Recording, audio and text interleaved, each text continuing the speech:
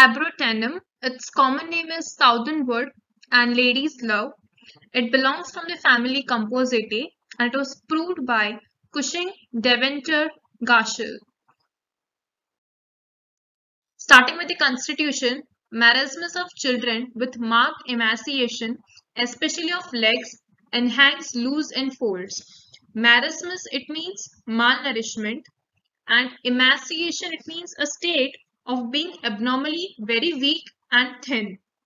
And it mainly occurs in children, and the malnourishment is mainly visible in the legs. The patient is chilly patient and the miasm it belongs to is psora and diathesis is tubercular diathesis. Mental journal, the child is ill-natured, he is anxious, depressed, irritable, despondent. So despondent, it means in low spirit from loss of hope and courage, violent and would like to do something very cruel. Starting with the face, so it will be wrinkled, cold, dry, pale. There will be blue rings around the dull looking eyes and angioma of face. See, angioma is a benign growth that consists of small blood vessels.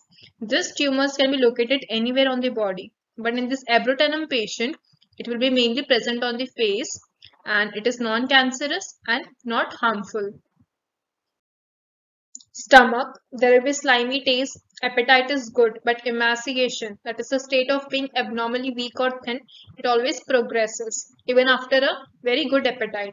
When the food passes undigested, there will be pain in the stomach, which worse at night. Stomach feel as if swimming in the water. Then the abdomen, it has distended abdomen, alternative diarrhea and constipation, hemorrhoids, there will be bloody stool, and sensation as if the bowels were sinking down. Respiratory, impeded respiration, that is a delayed respiration. There will be dry cough following diarrhea and there will be pain in the, across the chest and severe in the region of heart. Starting with the back, so neck is so weak that it cannot hold head up. The back is lame, it is weak and it is very painful. The pain is in the lumbar region which is extending along the spermatic cord. Starting with the extremities, so there will be painful contraction of the limbs from cramps in the following colic. There will be pain in the shoulders, arms, wrists and ankles. There will be pricking and coldness in fingers and feet. And in conditions of gout, the joint will become stiff and swollen. Skin eruption comes on face, then they are suppressed and the skin becomes purplish in color the skin is flabby and loose. Flabby means fleshy. Then there will be furuncles. It means boils. And there will be itching chilblains. Chilblains are the skin sores or bump that occurs after the exposure to very cold temperature. Starting with the modalities. So this are worse in cold air and checked secretion and these conditions are better by motions.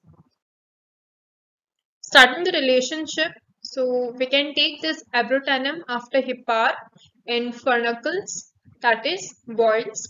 After aconite and bryonia and pleurisy. So pleurisy is inflammation of the tissue which are lining the lungs and the chest cavity. Then when a pressing sensation remains in affected site, impeding respiration. Impeding it means delayed respiration.